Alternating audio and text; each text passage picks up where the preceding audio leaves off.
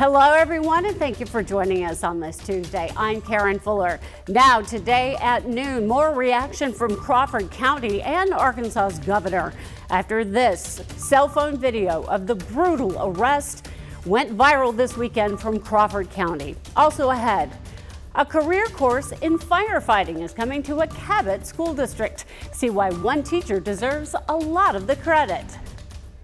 And new reports suggest former President Trump took hundreds of classified documents with him when he left the White House. The latest on the FBI search of his home in Florida and where the case stands today. But first, meteorologist Karalis Ortiz is here with a peek at your weather. Karalis, lots of fog this morning, raining pretty hard right now. What can we expect for the rest of the day? Yeah, we had some patchy fog this morning. Otherwise, it's just been another gloomy and soggy day for some of us. You saw that cloud cover behind her. It looked very ominous out there. We are actually seeing our first taste of some rain for today. Here's a live look at that radar right now. Thick cloud cover all across the natural state peaks of some sunshine northern portions of the state where they have been pretty much untouched by the rain.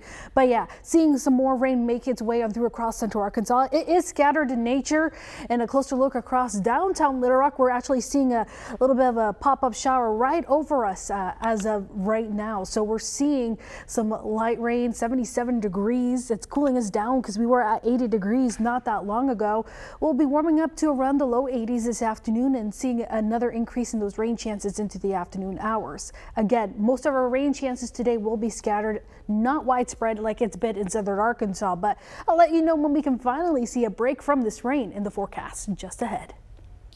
All right, Karalis, thank you. THV 11 is following new developments today into a violent arrest that was caught on camera from Crawford County. Two sheriff's deputies and a Mulberry police officer are now being identified. They are Deputy Zach King Deputy Levi White and Mulberry police officer Thell Riddle. All three men are on paid leave pending the investigation.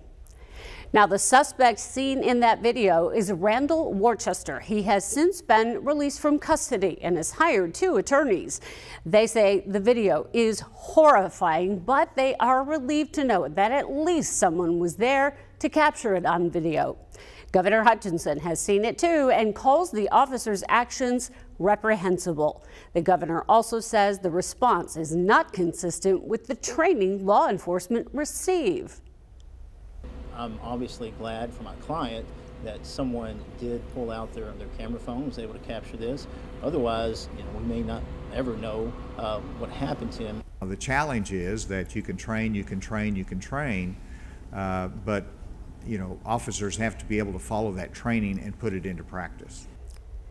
Also developing now, the Department of Justice is launching a civil rights investigation into the arrest, and it is separate from the probe by state police. Lawyers for the three officers are asking for the dash cam footage to be released by Mulberry Police, saying it will show much more of the full story. And in a THV 11 update, a man accused of trying to run over Sherwood police officers, prompting them to open fire, is now behind bars and facing even more charges. Antoine Thompson turned himself in and faces charges of aggravated assault.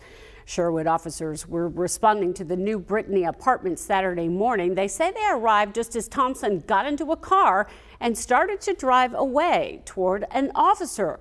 That officer fired a shot hitting the car, but Thompson did manage to get away. Little Rock police still searching for the third suspect in last week's shooting near the River Market. Investigators are looking for this man, Darian Williams. Officers converged on President Clinton Avenue just outside the Little Rock Chamber of Commerce, Commerce on Friday afternoon. Bullets hit or grazed several cars and buildings. Police arrested two suspects that day. The people of Little Rock are shaken again by that shooting in the River Market that comes after 17 shootings within a 24-hour span. THV 11 Sarah Horbacewicz shows us how the governor is working to reduce crime. I've lost two relatives to violence. Gun violence is on the rise in central Arkansas, impacting dozens of families every year, including Ida Hooks. I had a 18 year old that was shot. But then I had a granddaughter that died last year at the age of 34. Monday, Governor Hutchinson weighed in on crime reduction efforts. I want to uh, go through some of the things that we've done uh, as a state uh, to address uh, violent crime in Arkansas. In the last year, Hutchinson listed he designated $75 million to prison expansion, 1 million to support prosecutor and public defender offices, and recently strengthened parole supervision. There's been a good result of this effort, not perfect, but it is it is increasing uh, the supervision of those that are on parole. The results of Hutchinson's stricter parole program today showing more arrests and firearms confiscated since their officer expansion in April. But Reverend Benny Johnson with Arkansas Stop the Violence says it's still not enough. We're not blaming the governor, but we had to come up with some solutions dealing with the ones who have lost loved ones. That's where you start at as Little Rock homicides stay up over 50% in the last five years. And state police say they're doing what they can. We want the place to be safe, Little Rock, and we work together as a team with the Little Rock Police Department, State Police, Pulaski County to, to, to combat this violence issue. With one goal in mind. Please try to stop the violence.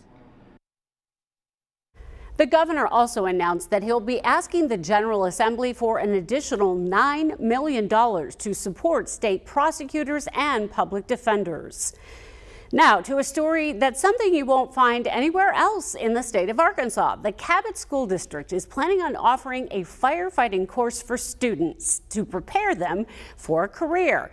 The course starts next school year and would make them ready as soon as they graduate.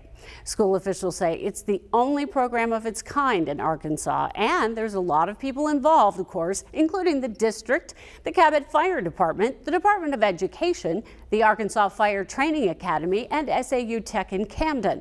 But it all focuses around one teacher, Ryan Collins it's like pouring back into the kids like my teachers poured into me. And I mean, if there was a program like this whenever I was in high school, I would not have been a nurse. I would have been a firefighter, 100%.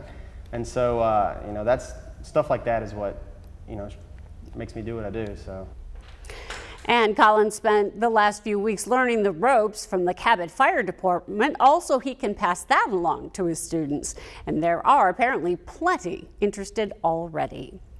Former President Trump has filed a new lawsuit against the Department of Justice. That's after the FBI agents seized documents from his Mar-a-Lago home in Florida. Trinity Chavez has those details. Former President Donald Trump wants to stop federal agents from going through documents seized during the search of his Florida home. Trump filed a lawsuit seeking a special master or third party attorney to be appointed to review the documents. He's also requesting the FBI return any documents that went beyond the scope of the search warrant. It happens sometimes. And I think from the point of view of the Department of Justice and justice itself, as long as it doesn't take too much longer uh, and delay things, that's fine. The Justice Department responded with a statement saying the search was authorized by a federal court upon the required finding of probable cause. Federal Judge Bruce Reinhart could decide this week whether any portions of the affidavit used to authorize the search warrant can be made public.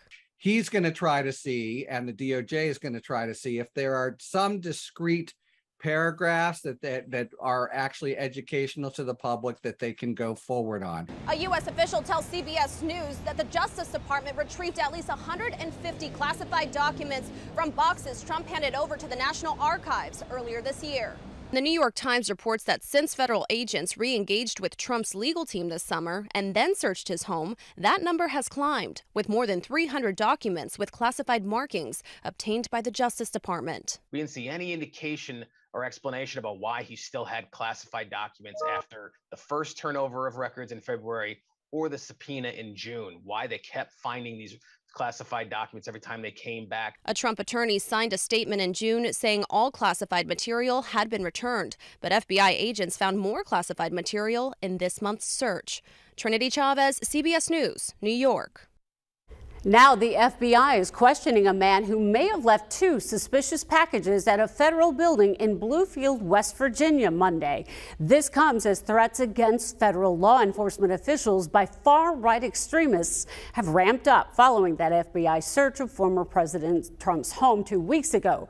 Alex Friedfeld tracks extremism with the Anti-Defamation League.